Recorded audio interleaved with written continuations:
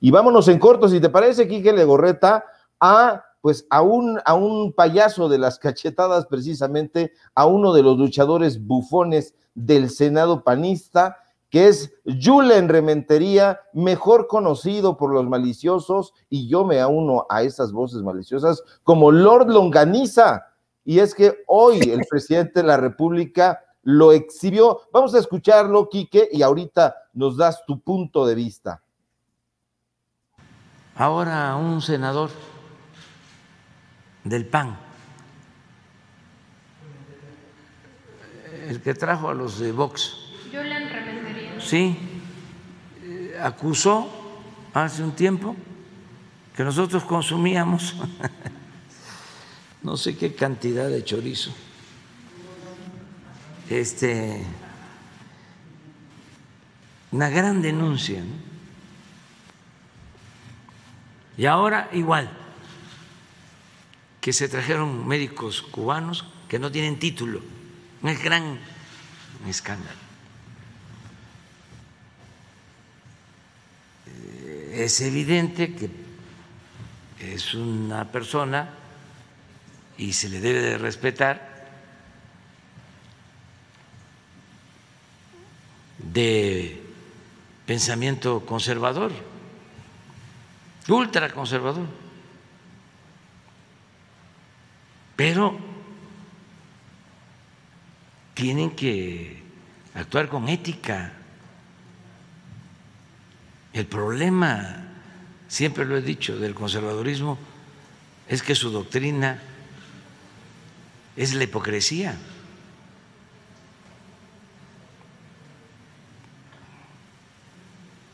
Tengo entendido que este senador fue de obras públicas, fíjense en el gobierno de Yunes.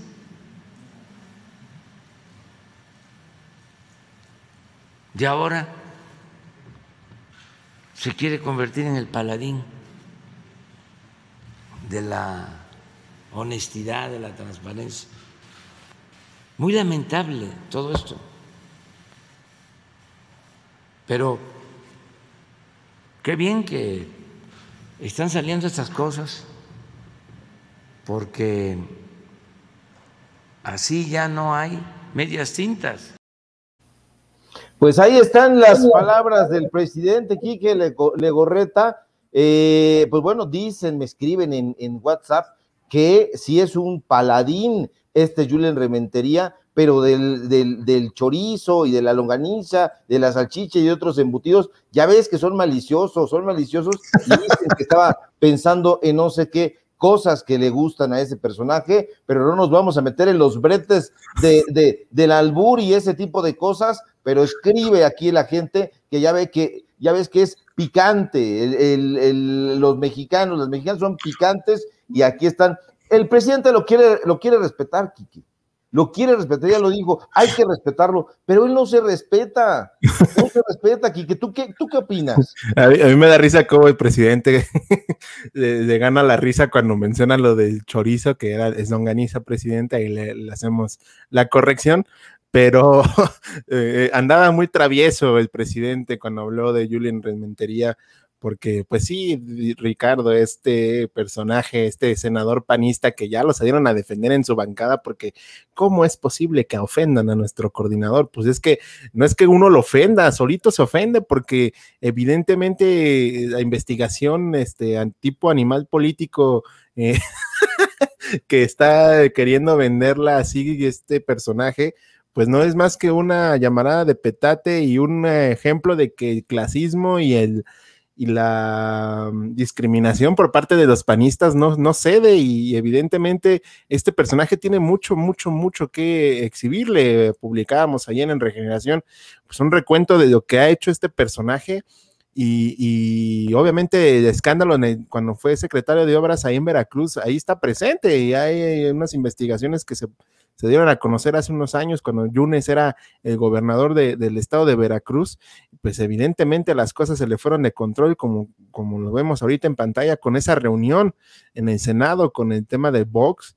Obviamente yo, Ricardo, lo que les comentaba en la mañana en el, bloque que tuvimos con, con Sin Censura, es de que pareciera que está queriéndose lavar la cara de todo lo que hizo en las últimas semanas y que fue el ojo del huracán, eh, la presencia de este personaje, ¿no? El querer decir que, eh, de acuerdo de, de Madrid, esta carta que firmaron en el Senado de, la República los panistas, pues evidentemente se trata de eso, ¿no? De quererse lavar la cara, de quererse eh, desviar la atención de lo que hicieron y de lo que no pudieron hacer durante esta, eh, que ellos creían importante eh, carta y esta importante activación de la derecha en México obviamente los dejó expuestos y bueno, el fin de semana que estaban todos ahí llorando porque en la CELAC vinieron personajes que para ellos son impresentables, pues evidentemente quisieron eh, desviar la atención y no les salió porque ah, en lugar de hablar cosas positivas de lo que presentó, pues mucho, mucho fue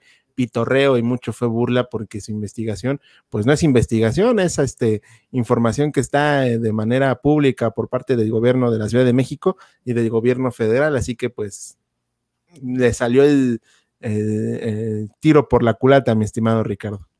O el chirrión por el palito, como dicen también, le salió ahí todo. Y pues ha hecho de todo menos lo, eh, su trabajo, que es precisamente pues hacer política, buena política, estar al tanto de las iniciativas que eh, presentan estos burdos ahí en el PAN. La verdad es que eso ya parece un mercado de, longanizas, chorizos y otros embutidos. Entonces, hay que estar muy atentos porque no podemos, no podemos respetar a este tipo de personajes que ya corren a hacer investigaciones. Yo hasta dije, wow, vamos a ver qué investigación nos trae este personaje, a ver si le aprendemos algo. Y sí, le aprendimos muchísimo a cómo no se debe hacer una jodida investigación, porque de plano está, pero eh, para llorar, es pura envidia, ah. Richard. Le tienes pura envidia, Richard.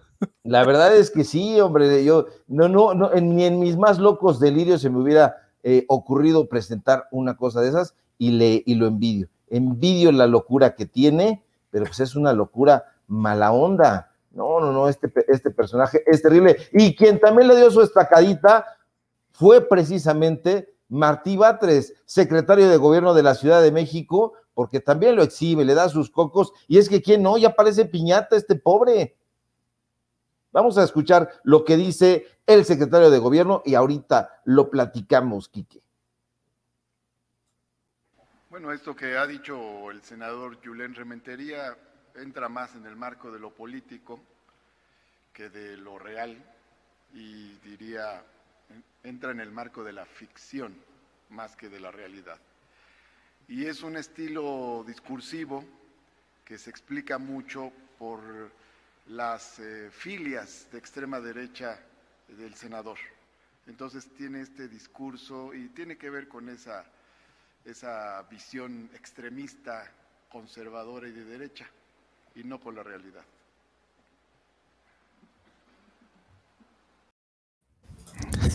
Pues ahí está, aquí que, y es que entre pues estas cosas de eh, que quería exhibir, termina exhibido el Rementeri.